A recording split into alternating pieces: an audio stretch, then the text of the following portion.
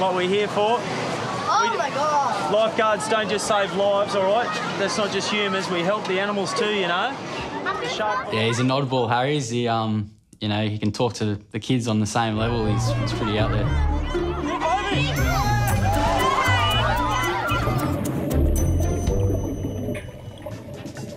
When I dove under and seen the shark, he could have dived straight into my hairstyle.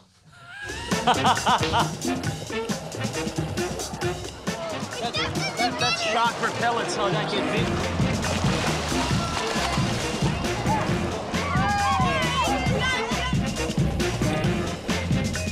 I could tell that everyone started to actually enjoy what I was up to. You know, I went from that entertainer to the shark hunter,